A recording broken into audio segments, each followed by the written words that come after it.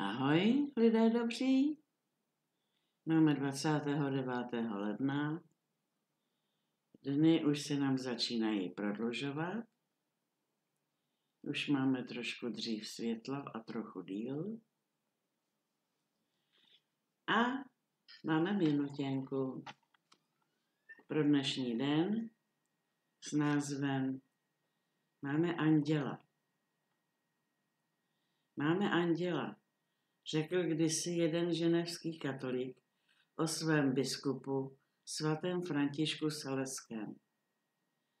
Anděl s božností, čistotou, láskou. Anděl nepřemožitelné trpělivosti a dobroty. Svému odpůrci řekl, vím, že jste proti mně, ale já nejsem proti vám. Vyrvete-li mi jedno oko, druhým se na vás přátelsky podívám. Přitom muž vznětlivé povahy v jednání důsledný. Co vše může dosáhnout sebekázeň, zpytování svědomí, rozjímavý život a hlavně milost Boží, láska k Bohu. Tahle Františka má být středem, okolo něhož se vše točí. Teprve až ta láska se stane ohnivým, nadšením, až nás povede, ovládne a nám poručí, zhasnou plameny vášní, vzroste vnitřní síla a svoboda.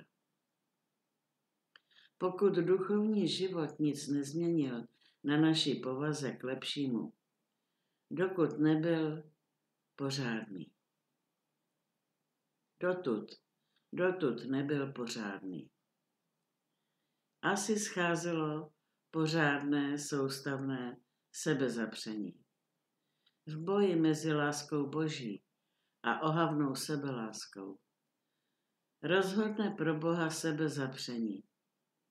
Je to peníz, za který se nejsnadněji koupí dokonalost. Máme anděla. Co by o tobě mohli říct si tvoji nejbližší? Koho v tobě mají?